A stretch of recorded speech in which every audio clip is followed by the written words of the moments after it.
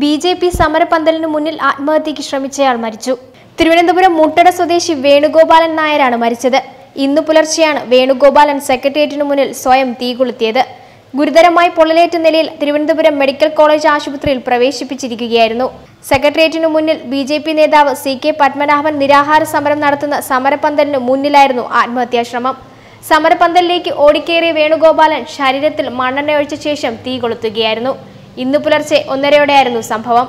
പ്രവർത്തകരുടെയും പോലീസിന്റെയും സമയോചിതമായ ഇടപെടലാണ് വൻ ദുരന്തം ഒഴിവായത്.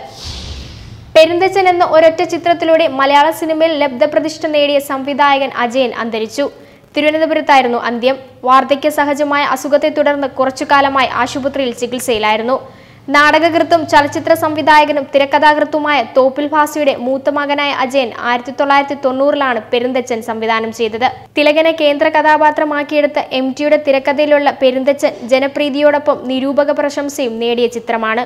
ആയിരത്തി തൊള്ളായിരത്തി തൊണ്ണൂറിൽ മികച്ച നവാഗത സംവിധായകനുള്ള ദേശീയ ചലച്ചിത്ര പുരസ്കാരം ഈ ചിത്രത്തിലൂടെ അജയനെ തേടിയെത്തി. നവാഗത സംവിധായകനുള്ള സംസ്ഥാന ചലച്ചിത്ര പുരസ്കാരവും ഈ ചിത്രത്തിലൂടെ അജയനെ തേടിയെത്തി.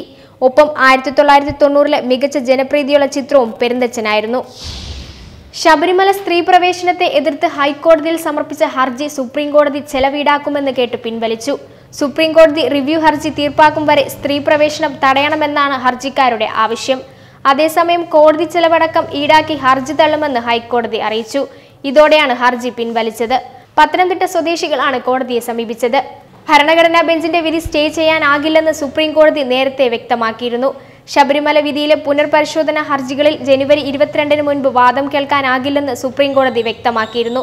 ഇതോടെ സെപ്റ്റംബർ ഇരുപത്തെട്ടിലെ വിധി സ്റ്റേ ചെയ്യണമെന്നാവശ്യപ്പെട്ടുള്ള എല്ലാ ഹർജികളും സുപ്രീം കോടതി നേരത്തെ തള്ളിയിരുന്നു. ശബരിമല ഹർജികൾ ജനുവരി ഇരുപത്തിരണ്ടിനാണ് തുറന്ന കോടതിയിൽ വാദം കേൾക്കുക. അതോടൊപ്പം സെപ്റ്റംബർ ഇരുപത്തെട്ടിലെ വിധി സ്റ്റേ ഇല്ലെന്നും സുപ്രീം കോടതി അർദ്ധശങ്കയ്ക്കിടയില്ലാത്ത വിധം വ്യക്തമാക്കുകയായിരുന്നു. Azhikode M L A K M ഷാജിക്കെതിരെ police കേസെടുത്തു. പോലീസിനെ ഭീഷണിപ്പെടുത്തി എന്നതാണ് കേസ്. ഡിസംബർ എട്ടിന് കണ്ണൂരിൽ നടന്ന പൊതുയോഗത്തിലാണ് കേസിന് ആസ്പദമായ പ്രസംഗം ഷാജി നടത്തിയത്. ഇതിനിടെ കെ എം ഷാജിയെ അയോഗ്യനാക്കാൻ ഇടയായ നോട്ടീസ് പോലീസ് കണ്ടെടുത്തതല്ലെന്ന് സൂചിപ്പിക്കുന്ന രേഖകൾ പുറത്തു വന്നിരുന്നു. വളപട്ടണം പോലീസ് കണ്ണൂർ മജിസ്ട്രേറ്റ് കോടതിയിൽ ഹാജരാക്കിയ റിപ്പോർട്ടിലാണ് ലഘുലേഖ സി നേതാവ് ഹാജരാക്കിയതാണെന്ന വിവരങ്ങളുണ്ടായിരുന്നത്. ഹൈക്കോടതിയിൽ തെറ്റായ മൊഴി നൽകിയ വളപട്ടണം എസ് ഐക്കെതിരെ നടപടി ആവശ്യപ്പെട്ട് കെ എം ഷാജി ഹൈക്കോടതിയെ സമീപിച്ചിട്ടുണ്ട്. കഴിഞ്ഞ നിയമസഭാ തെരഞ്ഞെടുപ്പിൽ അഴീക്കോട് മണ്ഡലത്തിൽ വർഗീയ പ്രചരണം നടത്തിയെന്നാരോപിച്ച് എതിർ സ്ഥാനാർത്ഥി എം വി നികേഷ് കുമാർ സമർപ്പിച്ച ഹർജിയിലാണ് കെ എം ഷാജിയെ ഹൈക്കോടതി അയോഗ്യനാക്കിയത്.